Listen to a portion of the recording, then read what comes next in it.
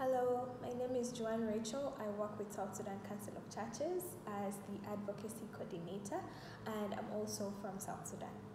So, my work is on analyzing peace processes, in particular, the Revitalize Agreement on the Resolution of Conflict in South Sudan, which was signed in 2018.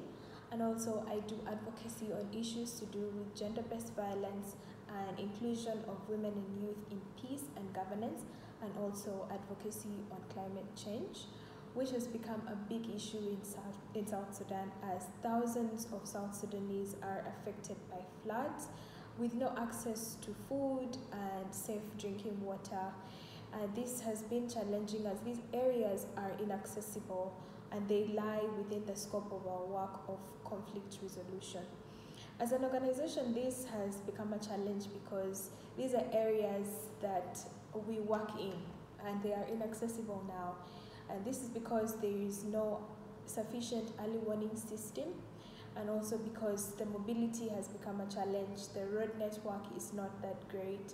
So that makes it really hard for us to do our work. It has also become difficult for us to shift our priorities from conflict resolution and peace building to responding to the impact of climate change.